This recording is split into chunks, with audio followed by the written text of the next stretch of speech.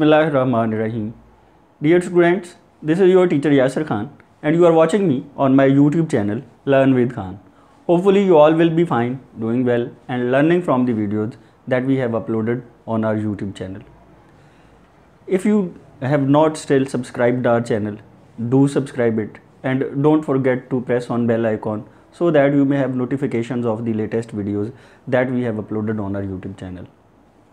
If you like the videos, do comment those videos and share uh, these videos with as much students as you can.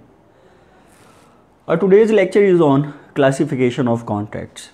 Business law में हमने essential जो valid contract discuss कर लिए हुए हैं valid offer और valid acceptance के rules देख लिए हुए हैं अब हम क्लासिफिकेशन कुछ समझ सकते हैं ये मैंने तीन तरह से क्लासिफिकेशन आपके सामने लिखी हुई है हम इतनी ही पढ़ेंगे अभी ताकि हम ये क्लासिफिकेशन जो हमारी समझ में आसानी से आ सके, उसको हम पिक कर सकते हैं तो वो हम पढ़ें सिर्फ़। पार्टीज़ के हिसाब से अकॉर्डिंग टू पार्टीज़ क्लासिफिकेशन देखिए, ग्रुपबंदी करने के बहुत बहुत सारे तरीके हो सकते हैं। एक क्लास में क्लासरूम में स्टूडेंट्स बैठे हैं तो टीचर उनकी क्लासिफिकेशन करना चाहिए तो स्टूडेंट्स वही हैं। फ़र्ज़ करें, पचास स्टूडेंट्स बैठे हैं। आप उनकी क्लासिफिकेशन कर सकते हैं बेस्ड ऑन जेंडर मेल और फीमेल आप उनको क्लासीफाई कर सकते हैं कि वो किस बैकग्राउंड से हैं, वो रूरल हैं अर्बन हैं, आप उस तरह से उनकी क्लासिफिकेशन कर लें। फिर आप उनको क्लासीफाई कर सकते हैं कि those who come on their own cars और whatever the mode of transport they have या वो जो कि पब्लिक ट्रांसपोर्ट पे आते हैं। अब प्राइवेट वाले और पब्लिक वाले वो अलग अलग कर सकते हैं। इन there are many basis on which you can classify a class अब इसी तरह से कॉन्ट्रैक्ट्स बहुत सारे हैं और उन्हीं कॉन्ट्रैक्ट्स को हम ग्रो बंदी करने के मुख्तलिफ़ तरीके और हम डिफरेंट वे से उनको क्लासीफाई कर सकते हैं। एक वे जो है, वो पार्टीज़ के हिसाब से है। एक होता है यूनिलैटरल कॉन्ट्रैक्ट और एक होता है बायोलैटरल कॉन्ट्रैक्ट यूनिलैटरल कॉन्ट्रैक्ट जो होता है, वो वन साइडेड कॉन्ट्रैक्ट होता है। वन साइडेड कॉन्ट्रैक्ट इसे कहते हैं बायोलैटरल को टू साइडेड कॉन्ट्रैक्ट कहते हैं। अब यूनिलैटरल कॉन्ट्रैक्ट होता क्या है? A contract when one party makes a promise in exchange of performance of a particular act by any party एक पार्टी वादा करती है कि कोई भी अगर वो वो काम करेगा तो उसको वादा करती है कि उसको पेमेंट की जाएगी। जैसे इसकी एग्जांपल देखें C promised to pay rupees one thousand to any one who found his lost bag अब ये जो कॉन्ट्रैक्ट uh, क्रिएट हो रहा है उसमें जो प्रॉमिस आ रहा है, वो एक पार्टी की तरफ़ से आ रहा है। और कोई भी, दूसरी पार्टी जो है, वो भी स्पेसिफिक है ही नहीं, वो ख़ास है ही नहीं। वो तो कोई भी जनरल ऑफ़र है, जो भी लॉस्ट बैग लेके आ जाएगा तो फिर इसका मतलब है कॉन्ट्रैक्ट वो फॉर्म हो जाएगा और ये यूनिलैटरल कॉन्ट्रैक्ट कहलाएगा। अब पूरी पब्लिक में से कोई बंदा जो बैग ढूंढेगा, उठा के ले जाएगा तो वो फिर रिवॉर्ड क्लेम कर सकता है, अगर उसको ऑफ़र का नॉलेज है। बायोलैटरल कॉन्ट्रैक्ट ये होता है parties exchange uh, their obligations exchange their uh, promises mutual promise जो होते हैं जहाँ वादे आ जाएँ।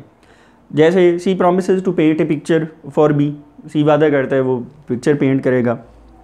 And B promise to pay rupees five thousand to C और बी वो कहता है कि जी वो फिर सी को पाँच हज़ार रुपये देगा। ये बायोलेट्रल कॉन्ट्रैक्ट है। यानी पार्टीज़ के हिसाब से एक पार्टी वादा करे।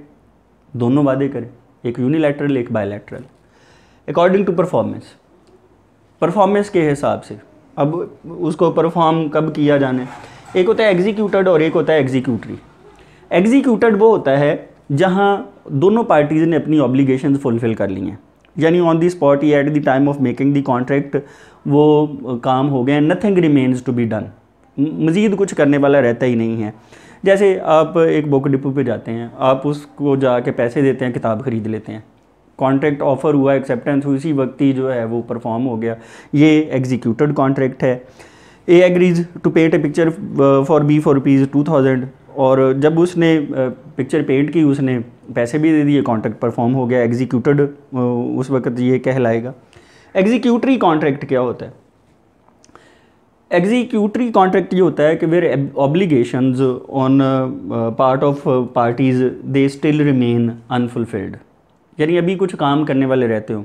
ये वो है जो काम अभी मुस्तकबिल में होना है एग्जीक्यूटरी दोनों तरफ़ से सिर्फ़ वादा हुआ है। जैसे A agrees to teach B next month A B से कहता है वो अगले मंथ पढ़ाएगा। और B promise to pay rupees eight hundred वो कहता है, ठीक है, जब पढ़ाओगे, आठ सौ रुपये मैं दे दूँगा। अब दोनों काम मुस्तकबिल में होने हैं। उसने अगले महीने पढ़ाना है, उसने अगले महीने पैसे देने हैं। तो ये एग्जीक्यूटरी कॉन्ट्रैक्ट है। और अगर जो है, वो एक एग्जांपल ये कि M has M sells his car to N for two lakh M ने दो लाख की अपनी गाड़ी बेच दी है। N has not yet paid the price अभी उसने पैसे नहीं दिए। उसने गाड़ी उसके पोजेशन में दे दी है, लेकिन अभी एक पार्टी ने भी काम करना है। यानी अगर जो काम करने वाला रहता हो, चाहे दोनों पार्टीज़ की तरफ़ से हो, चाहे किसी एक पार्टी की तरफ़ से हो तो ऐसा कॉन्ट्रैक्ट एग्जीक्यूटरी कॉन्ट्रैक्ट कहलाता है। अब नेक्स्ट जो फॉर्मेशन के ऊपर है इसकी क्लासिफिकेशन फॉर्मेशन के हिसाब से कॉन्ट्रैक्ट्स को कैसे क्लासीफाई किया जाता है? तो चार तरह से क्लासीफाई किया जाता है एक्सप्रेस इम्प्लाइड कोजाए और ई कॉन्ट्रैक्ट्स होते हैं। ये भी एक क्लासिफिकेशन आप कर सकते हैं। एक्सप्रेस कॉन्ट्रैक्ट्स वो होते हैं जहाँ आपको जो ऑफ़र है एक्सप्रेस ऑफ़र और एक्सप्रेस एक्सेप्टेंस उसमें आपको बताया मैंने। अल्फाज जहाँ हों, वो अल्फाज चाहे बोल के हों, चाहे लिख के हों, जहाँ भी अल्फाज आ जाएँ एक्सप्रेस ऑफ़र हुई एक्सप्रेस एक्सेप्टेंस हुई, चाहे लफ्ज़ बोल के हुए, चाहे लफ्ज़ लिख के हुए तो ऐसे उसके नतीजे में जो कॉन्ट्रैक्ट वजूद में आएगा, वो कहलाएगा एक्सप्रेस कॉन्ट्रैक्ट और इम्प्लाइड कॉन्ट्रैक्ट क्या होगा? जहाँ इम्प्लाइड ऑफ़र और इम्प्लाइड एक्सेप्टेंस हुई, जहाँ लफ्ज़ नहीं है अल्फाज के बजाय वहाँ पे एक्शन हैं कोर्स ऑफ़ डीलिंग्स है कंडक्ट ऑफ़ पार्टीज़ है सरकमस्टांसेस ऑफ़ द केस हैं। वहाँ से हमें पता चलता है, वो वहाँ से कॉन्ट्रैक्ट क्रिएट होता है, अल्फाज नहीं है। अल्फाज के अलावा एक्शन से मानवी जो कॉन्ट्रैक्ट कहलाता है। अब देखें एक्सप्रेस कॉन्ट्रैक्ट क्या है? A tells on telephone to B A B को टेलीफोन पे बताता है that he wants to sell his car वो उसको टेलीफोन करता है और उसे बताता है कि जी, मैं तुम्हें एक गाड़ी बेचना चाहता हूँ। एंड बी इन्फॉर्म्स ए वो उसे टेलीफोन पे उस वक्त कह देता है that he is ready to buy it अब देखें, अल्फाज आगे। बोल के आगे, टेलीफोन के ऊपर बोल के आगे तो ये एक्सप्रेस कॉन्ट्रैक्ट है। अब इम्प्लाइड कॉन्ट्रैक्ट की एग्ज़ाम्पल वो देखें, जैसे B went in to a restaurant and had a cup of tea अब देखें रेस्टोरेंट में गया, वहाँ से चाय पी। सादा सी बात है, उसका बाद जाना, बैठना, उन्होंने चाय सर्व कर दी। अब उठ के पैसे वो दे के आएगा। क्योंकि ये इम्प्लाइड कॉन्ट्रैक्ट है। एक शू शाइनर है, वो आया he start polishing shoes in presence of person W अब वो डब्ल्यू की मौजूदगी में फ़र्ज़ करें उसने उसके जूते पॉलिश करना शुरू कर दिए हैं। उसने रोका ही नहीं। इम्प्लाइड ऑफ़र हुई इम्प्लाइड एक्सेप्टेंस हुई इम्प्लाइड कॉन्ट्रैक्ट है ये। और कोजाए कॉन्ट्रैक्ट क्या होता है? इसको कंस्ट्रक्टिव कॉन्ट्रैक्ट और टेसेट कॉन्ट्रैक्ट भी कहते हैं। अब देखें, ये होता है खामोशी से चुप करके टेसट जो है वो खामोशी को कहते हैं। लॉ का एक असूल है। लॉ कहता है कि जी प्रिंसिपल ऑफ़ एक्विटी पे चलता है जस्टिस के ऊपर चलता है। असूल ये है कि लॉ ये कहता है कि आप किसी का नुकसान करके फ़ायदा अपना नहीं कर सकते। तो कुछ सिचुएशंस ऐसी हैं, जिन सिचुएशंस में आके लॉ खुद से कॉन्ट्रैक्ट क्रिएट कर देता है। यानी that becomes binding on you अब वो आपके ऊपर पाबंदी आयद हो जाती है, वो ऑब्लिगेशन आपके ऊपर लॉ आयद कर देता है। जैसे अभी इसकी एग्जांपल मैं आपको दूँगा तो उसे आपको ज़्यादा बेहतर समझ आएगी। C finds the lost goods that belong to B B की जो गुमशुदा चीज़ें हैं, वो सी को मिल गई हैं। C is bound to return the goods to B अब वो पाबंद है। या ऐसे होता है, आपके घर में मेहमान आए हुए हैं, उनकी कोई चीज़ आपके घर रह गई है बाय मिस्टेक रह गई है। अब वो चीज़ आपके पास रह गई है। ऐसा नहीं हो सकता कि आप कहें जनाब कि जी, अब ये गुमशुदा चीज़ मिल गई है, उन तक कोई, इसकी ढूँढने की कोई ज़रूरत ही नहीं है। सर वो पंजाबी में कहते हैं कि जी, लंबी चीज़ खुदा दी, ना तेले दी, ना पा दी। अब इस तरह से नहीं चल सकता। यानी लॉ जो है, वो ये कहता है कि आप उस चीज़ को अपने पास नहीं रख सकते हैं कि जी, कोई नहीं जी मैनू लभी सी, ये मैं यूज़ करूँगा। ऐसा नहीं हो सकता। आपने वो चीज़ उसके हुनर को ढूंढना है।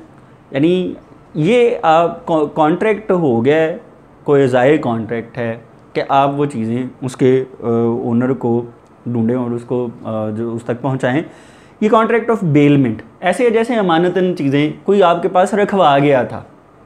यानी लाइक दैट कि जी कोई बंदा आए वो आपसे कहे कि यार ये मेरी चीज़ें रखना, ये सेम बिल्कुल जो है वो आपकी पोजीशन उस बंदे जैसी होगी, जिसको ये कहा जाए कि ये चीज़ें अमानतन आप रख लो। मैं आपसे दो दिन मैं कहीं जा रहा हूँ, मैं आके ले लूँगा। अब इस तरह लॉ कहता है कि ये कोई ज़ाय कॉन्ट्रैक्ट है आप ये कंस्ट्रक्टिव कॉन्ट्रैक्ट है टेसिट कॉन्ट्रैक्ट है, खामोशी से लॉ ने क्रिएट कर दिया है, क्योंकि आप किसी का नुकसान करके अपना फ़ायदा नहीं कर सकते।